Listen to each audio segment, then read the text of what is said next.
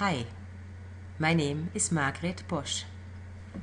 In this video we are going to practice for loops that produce number lines. Before I switch to JGrasp I want to show you a pattern. Let's look at 3, 5, 7, 9, 11. You can always reach the next number by adding 2 to the previous number. All the numbers in the number line are evenly spaced. In such a situation, you can write a for loop by initializing the control variable with the first element of your number line. You keep going until you reach the last element and you update by adding 2, which is the difference between two adjacent elements in your number line. It is always important to know whether your number line is going up or down. In our case, the number line is going up. We start with the smallest number and end with the largest number. That means when I'm comparing i to 11, I have to use less or equal for my comparison. And when I increment my control variable, I need to use plus equal as my compound operator. Now let's look at a second example. 20, 16, 12, 8, 4. You always reach the next number by subtracting 4 from the previous number. Once again, all my numbers in the number line are evenly spaced. My pattern looks very similar. I start by initializing my control variable with the first element I continue until I reach the last element. And I update by subtracting 4, which is the difference between two adjacent elements in my number line. Let's look at the numbers 2, 5, 8, 11, 14. These numbers are evenly spaced. Each number is 3 bigger than the previous number. So this number line will work great for the pattern we discussed before. I'm going to start with the keyword for. I initialize my control variable with the first number in my number line. I continue as long as I'm less than or equal to the last number in my number line. I use less than or equal because my number line is going up, so I start with a smaller value and I'm going to update my control variable by adding 3. I'm going to add 3 with the plus equal compound operator because 2 plus 3 is 5 plus 3 is 8 etc. So my numbers are spaced by 3. Now I'm going to print the number and I'm going to make a new line at the end. Compile, run, there is my number line right here. Let's try another one. Let's say we have minus 6, minus 3, 0, 3. That's the number line I would like to create with a for loop. I start with the keyword for. I um, initialize my control variable with the first number in my number line. I keep going as long as my control variable is less or equal than the last number in my number line. And I'm going to update my control variable with the plus equal compound operator and I'm going to add 3 because once again my numbers are spaced by 3 which means two adjacent numbers are always 3 apart.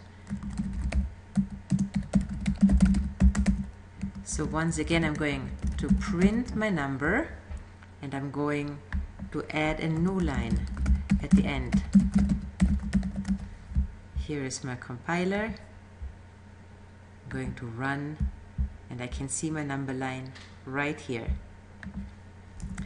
Now this is your turn I give you number line 1, 5, 9, 13. Try to write a for loop that produces this number line. Give yourself a moment, pause the video, and when you're ready, press continue.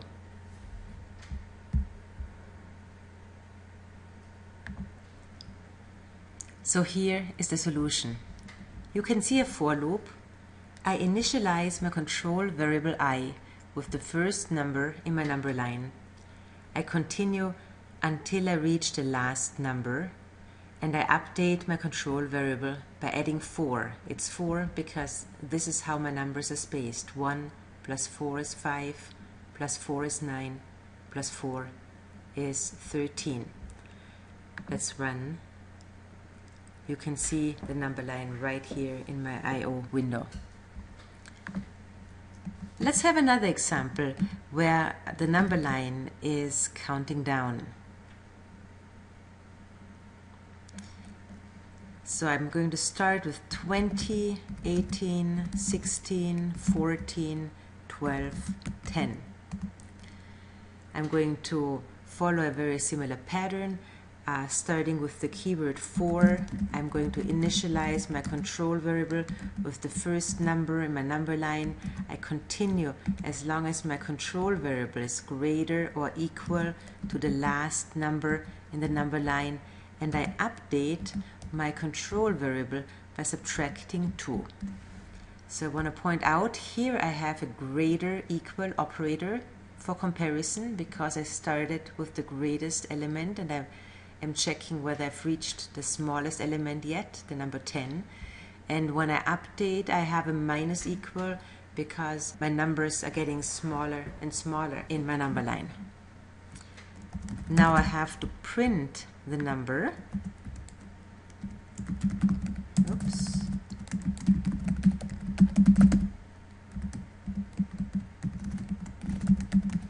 And I want to add a new line. Now let's compile, run, and you can see my number line right here. Another example. My number line is 7, 0, minus 7, and minus 14. Once again, I start with my keyword for, I initialize my control variable with the first number in my number line. I continue as long as my control variable is greater or equal to the last number in my number line and I update my control variable by subtracting 7.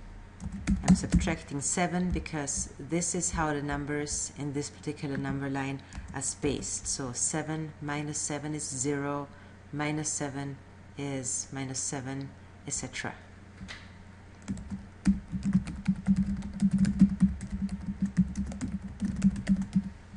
And we are going to add a new line,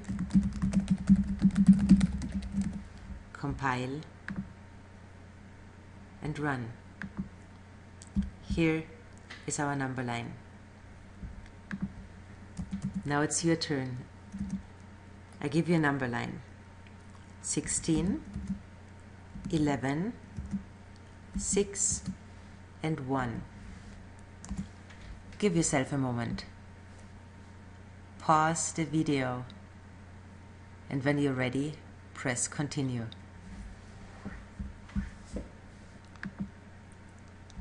Here is the solution. I have a for loop.